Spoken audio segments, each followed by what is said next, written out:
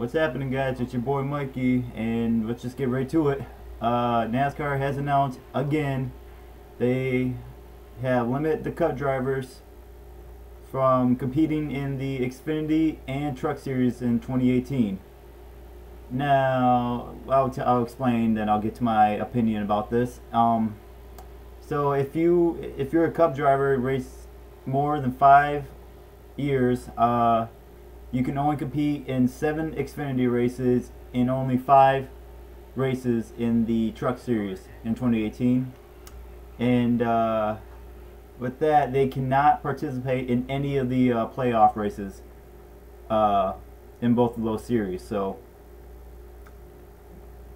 so yeah, that's about it. Um, now I'll get to my thoughts. Uh, I knew this was coming. Um, I think I think well, I'm I'm glad they did it, but it. I think if the Cup drivers actually use their own equipment, I wouldn't have a problem with it. Of Cup drivers competing in the Xfinity and Truck Series, but I mean, this is why I don't watch the I don't hardly watch any of the Xfinity or Truck Series that often because once Kyle Busch or Kyle Larson, Keselowski, once they're racing, you already know who's gonna fucking win. So, I mean, I was actually surprised freaking seeing the. I didn't watch the truck race last Saturday at Pocono, but I saw Kyle Busch got wrecked, and I saw the reaction from the crowd in the stands. Oh my god, it was priceless.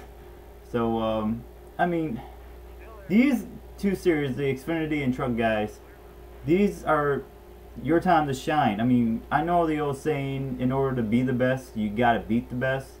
But what's good about fucking beating the best if they're not using their own equipment? You know you're gonna get your ass kicked. I mean, that's just almost kind of unfair. Oh yeah, it's his own gameplay again. And um, so yeah, I mean, I don't think it's enough. I mean, if they want to race at Daytona, Talladega, and Cup, or uh, in the Xfinity or trucks, I mean that's just one of those track where it's anybody's game. You just gotta go, go in the right line, and you know all that restrictor plate stats stuff. You know what I'm saying? And um, I don't know. At the same time, I, think it needed this because if you think about it, the last couple years, what year was it that uh, I think it was Austin Dillon that won the Xfinity Championship, but he had no wins because freaking Kyle Busch won half the damn races that year, and freaking Daniel Suarez, who did beat uh, Kyle Busch last year at Michigan in the Xfinity, I would have had more wins um, that year and still would have won the championship. So, but Kyle Busch won every single fucking one. So I don't know.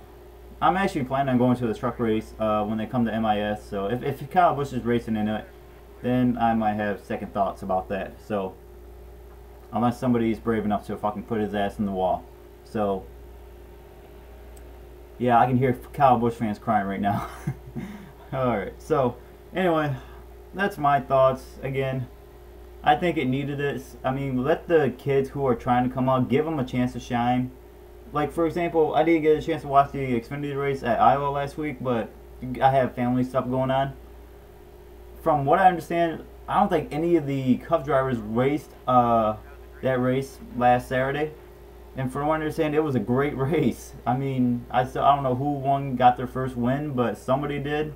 I don't pay hardly attention to the Xfinity or trucks, just because I mean the Cup drivers usually ruin it.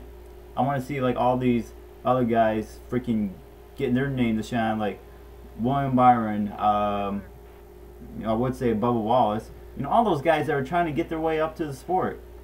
So, I mean, that's just sad because I even in the truck series, freaking, I can't remember who it was. A couple years ago, somebody won the trucks.